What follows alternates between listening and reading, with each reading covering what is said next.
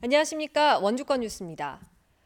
원주시 의회의 공론화 요구에 이어 화천구는 아예 도청사 유치까지 선언했지만 강원도는 청사 이전이 아닌 신축 사업이라며 불필요한 갈등을 유발하는 청사 유치전에 대해 선을 그었습니다. 강원도는 원주 지역과 화천군에서 청사 이전과 관련된 발언을 했지만 경북도청이나 충남도청은 광역시라는 다른 행정구역에서 경북과 충남의 행정구역으로 이전하는 사업이었다며 강원도는 이에 해당하지 않는다고 밝혔습니다. 강원도는 불필요한 갈등을 유발하는 이런 유치전을 막기 위해 도내 18개 시군 공무원을 대상으로 도청 신축과 관련한 설명회를 열 계획이라고 덧붙였습니다. 원주시가 아프리카 돼지열병 차단 소독을 강화하기 위해 드론을 활용합니다. 원주시는 오늘부터 관내 양돈 농가 37곳을 돌며 방역 차량이나 소독기를 이용한 방역과 어, 드론을 투입해 항공 방제를 실시한다고 밝혔습니다. 드론을 이용할 경우 관계자가 농장에 들어가지 않고도 소독을 할 수 있으며 입체적 방역이 가능할 것으로 기대하고 있습니다. 아프리카 돼지열병의 확산을 막기 위해 축산 농가들의 모임이 금지되면서 다음 달 4일로 예정된 횡성축협 조합원 한마음 대회 행사가 취소됐습니다. 횡성축협은 횡성 한우 축제 기간에 조합원 1,400여 명이 참여하는 송아지 분양과 경품 추첨 등의 조합원 행사를 계획했지만 축산 농가 보호를 위해 모두 취소했다고 밝혔습니다. 반면 횡성문화재단은 횡성 한우축제 내 축종별 홍보 행사는 모두 제외시켰고 나머지 행사는 문화 행사로 치러져 돼지 열병에 영향이 없을 것으로 판단된다며 예정대로 축제를 진행할 계획이라고 밝혔습니다. 아프리카 돼지열병 발생 농가와 해당 농가 출하 도축장을 다녀온 차량이 도내 82곳 농가를 들른 것으로 확인됐습니다.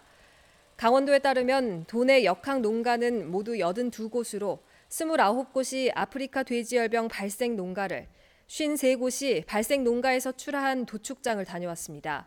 역학 농가는 철원이 46곳으로 절반 이상을 차지했고 화천이 10곳, 홍천이 8곳 등으로 뒤를 이었습니다. 강원 전역이 중점 관리 지역으로 확대된 가운데 강원도는 역학 농가에 대해서 임상 검사와 정밀 검사를 실시했다고 밝혔습니다. 임대 보증금 미반환 피해를 낳고 있는 원주 청솔 아파트 임대업체 대표와 원주 시장과의 면담이 무산됐습니다. 원주시에 따르면 해당 임대업체 대표는 관련 자료가 부족하다며 오늘로 예정된 시장과의 면담을 일방적으로 취소했습니다. 이번 면담은 임대 보증금 미반환 세입자들이 원주시에 적극적인 개입을 요청하면서 추진된 겁니다. 한편 해당 업체는 이달 초 법원에 회생 절차를 신청한 상태입니다. 직장을 잃은 것처럼 꾸며 실업급여를 타내거나 이를 도운 일당 5명이 당국에 붙잡혔습니다.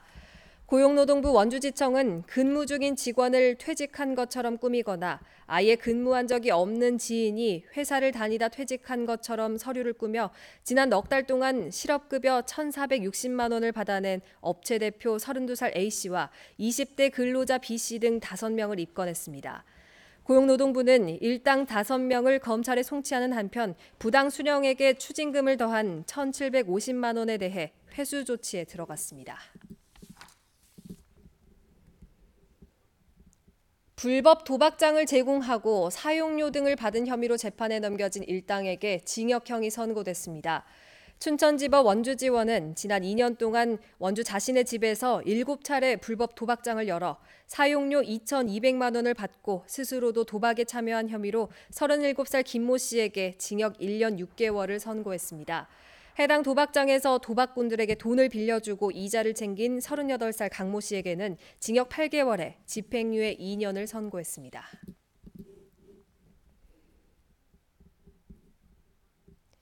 원주시 태장동 수소 충전소 설치 추진과 관련한 주민 설명회가 지역 주민들의 반발로 무산됐습니다. 태장 이동 주민들은 최근 수소 폭발 사고로 안전에 대한 불안감이 큰데 이미 주유소와 가스 충전소가 있는 주거 밀집 지역에 수소 충전소가 또 들어오는 것은 받아들일 수 없다며 결사 반대 입장을 밝혔습니다. 강원도 수소 충전소 설치 사업을 진행 중인 강원 테크노파크는 안전 대책과 현재 운영 중인 수소 충전소 사례 등을 알린 뒤 주민 의견을 수렴하겠다고 밝혔습니다. 문막 SRF 발전소 저지 범시민 대책위가 화훼단지 조성 사업에 대한 감사원 공익 감사를 청구했습니다. 범대위와 자유한국당 시의원들은 오늘 감사원에 원주시가 출자한 원주 화훼 특화 관광단지 개발에 대한 공익 감사를 요구하는 1,300여 명의 서명부를 감사원에 제출했습니다.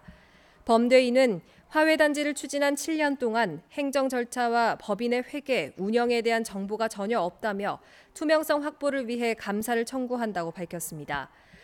한편 조창휘 원주시 의원은 열병합 발전소 무효화를 요구하며 일주일째 단식 농성을 이어가고 있습니다. 원주시가 지역 5개 대학교와 학술 문화 교류를 위한 업무 협약을 체결했습니다. 강릉 원주대와 상지대와 한라대, 연세대 미래캠퍼스, 경동대 등 원주 지역 5개 대학은 오늘 원주시청에서 협약을 맺고 원주시의 평생 교육과 인문도시 구현, 지역 인재 육성에 협력하기로 했습니다. 대학들은 시립 도서관을 통해 수준 높은 강좌와 프로그램을 시민들에게 제공하고 대학생들의 지역 인문 활동 참여도 확대할 예정입니다. 뉴스를 마칩니다. 고맙습니다.